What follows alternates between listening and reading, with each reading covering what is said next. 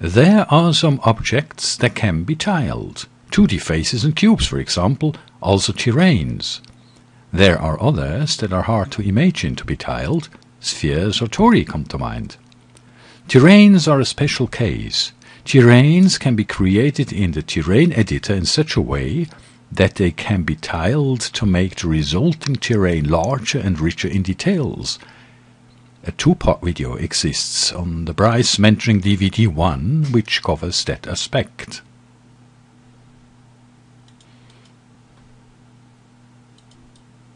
A terrain can also be a bit like a 2D face. There is only one unique terrain with many copies that can be tiled. A terrain is generated by a height map and it makes very nice 3D tiles. A 2D face, on the other hand, has to rely on bump to make it appear of having an uneven surface. 2D faces are great to make polished tiles. For tiles on a wall, Cubes are the best choice because a ceramic tile is thicker than a piece of paper and there is the mortise. Terrain tiles are equal terrains that are copied and then tiled together. Also this topic was already covered in a video for the ground texture tiles product. When you create a terrain Always leave it at the default size that it comes into Bryce. Scale it after tiling. If you scale it before tiling, you make yourself life very hard and this video will not be of great help. The default size of a terrain is X and C 81.92 Bryce units and Y 20.48 Bryce units. Go to the terrain editor and load the picture height map you want and in the materials lab apply the texture material. This has already been done here. We have the picture as the height map and we have the material already applied in the materials lab. Now you are ready to tile. Now scale the Y, the height of the terrain, to make it fit the width and depth of the terrain. Just do not alter the x and c values. We assume that the single terrain prepared will be the near left corner of the tiled terrains and we will make the whole thing four terrains wide and four terrains into the distance, giving us 16 terrain tiles in all. There is one important detail to know. Even though the default terrain is 81.92 Bryce units wide, X, and 81.92 Bryce units deep, C. The terrain itself is 0.16 Bryce units short to the right and at the far end. If terrains are tiled with the size of 81.92 Bryce units in mind, there will be gaps between the terrains that are 0.16 Bryce units wide. In order to tile without visible seams, we have to consider x and c to be 81.92 minus 0.16 equal 81.76 Bryce units only. Now to business. There is only one terrain in the scene. Select it if it is not yet selected. Go to Edit and click on Multi-Replicate edit, multi-replicate. You can also use the keyboard shortcut Alt Shift D Windows or Option Shift D Mac. This also brings up the multi-replicate dialog. Alt Shift D. We're on a Windows machine. For quantity, enter one less than the number of tiles. We want 4, therefore we enter 3. We do the row first, so we add for the x offset 81.76 and click on the check mark.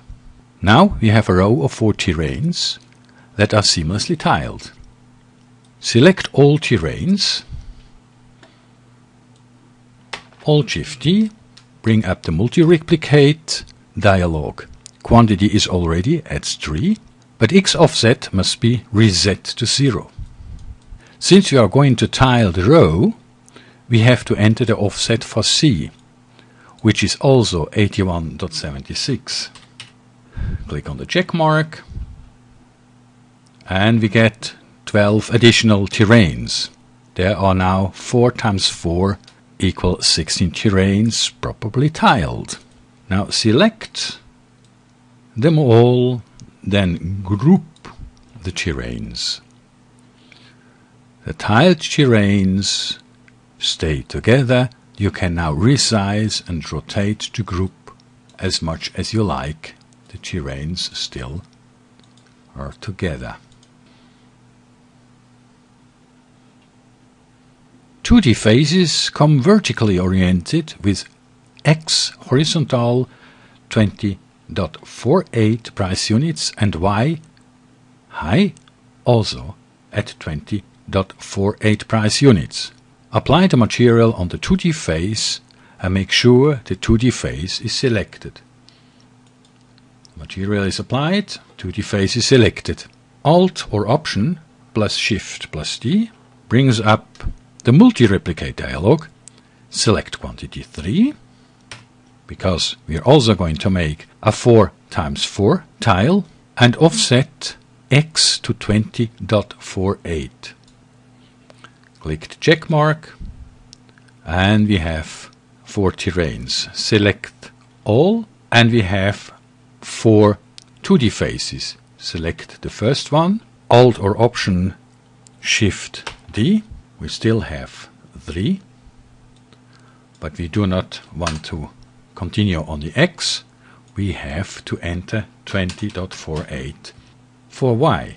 And here you are, we have our 16 tiles. Now select all 2D faces. If you would resize them now, each one is resized individually. That's not what we want. That's why we have to group them.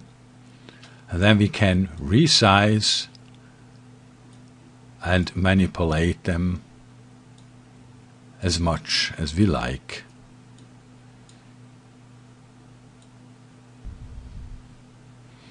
There is something you have to be careful when using 2D faces. Work on them as they come into Bryce, as we did. Do not turn the 2D face flat, as I did here. If you must, set the rotation of the attributes to x minus 90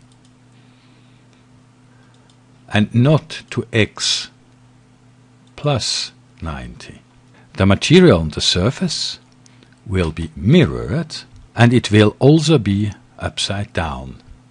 So even though this is the same image texture, this is placed on top of the 2D faces and this is placed on the bottom of the 2D face. Tiling pyramids. Well, you won't do this on a daily basis, I reckon.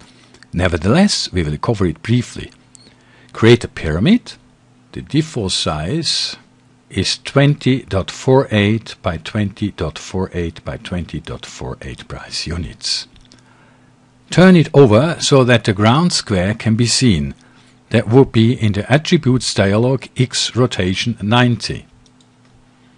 Oh, that's the one. Creating the row with multi-replicate is the same as for the 2D face. Alt Shift D 3 because we want to have 4 and here we have 20.48 Bryce units and we have the 4 we select all four and again 3 we don't need x we reset it to 0 and now we enter the C offset at minus 20.48 if positive is used, the rows are added downwards instead of upwards. Look at this in this way this would be nearer to the camera when the pyramid comes into the Mirage world, and this would be farther away because the way we have rotated them. we want to have the row of pyramids here, which would be nearer to the camera, and that's why we have to use minus 20.48. Now we select them all and group.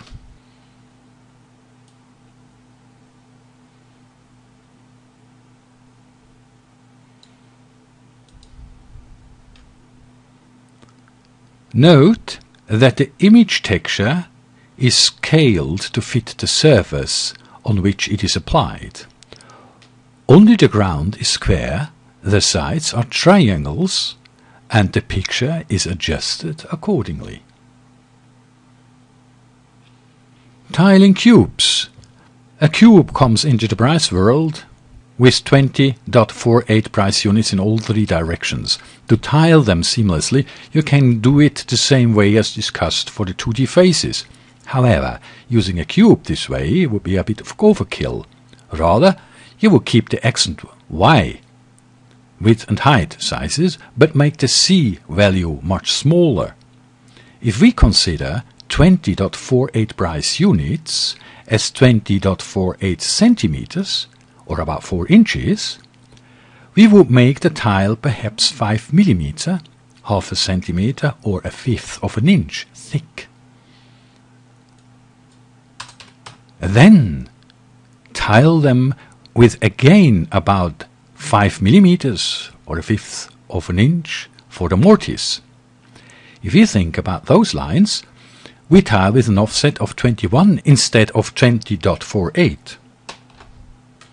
Want to have 3 again, and we tile with 21 and not 20.48 because we want to have a little space between the tiles for the mortise. We select all the four as we've done before. We tile again, 3. There is no x anymore, but the height will be 21 because we want to stack them up here. So we have 16 tiles. We can now create a 2D face with 4 times 21, that is 84 Bryce units square, and align it to the lower edge of the tiles and give it a sand texture, and we have nice wall tiles.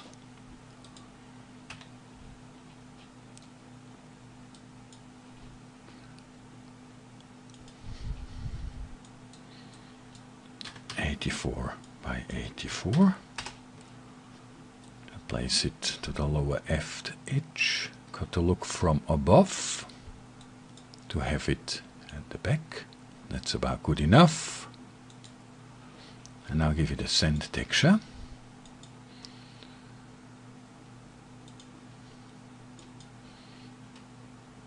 Sand, marble sand, but we don't want it to have this color, so we just remove the saturation. And remove the saturation. And we make it a little bit finer.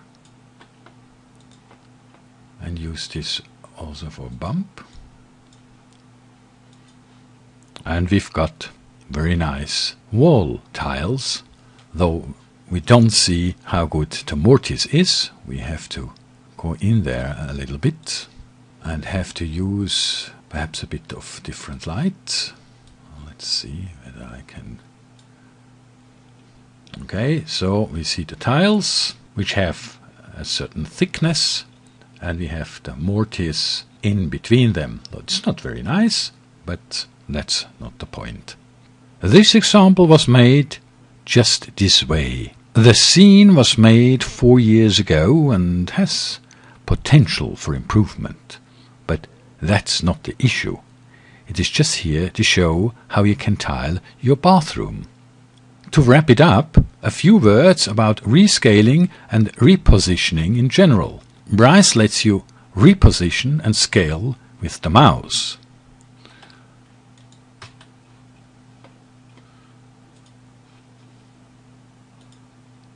Reposition with the mouse.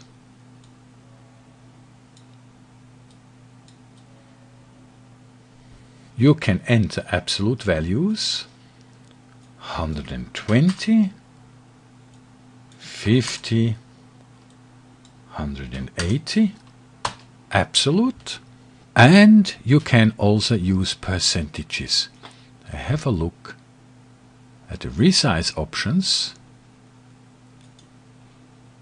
Here you can scale. I want to have it 80%. This part I want to 90% and this part I want 110%. And the machine is different. You have 3D transformations under the rotate options. You can here rotate, you can put an offset and you can resize. You also have it below the reposition where you can also set an offset, set a rotation and set a size in percent. Whatever you are doing, sometimes it is good to have the absolute values, sometimes it's just sufficient to play around with the reposition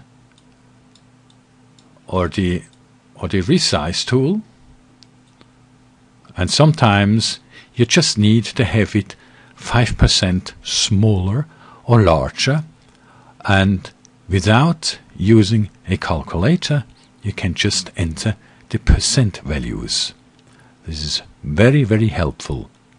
The tile for the terrain was taken from the product ground texture tiles. Those for the 2D face and the pyramid were made with structure synthesizer and the one for the cubes was an additional leaf I found for Ivy generator if my memory doesn't fail me. There is another means to tile, tiling pictures on a single surface. This will be covered in another video. I hope this tutorial gave you some ideas what you can do with picture textures.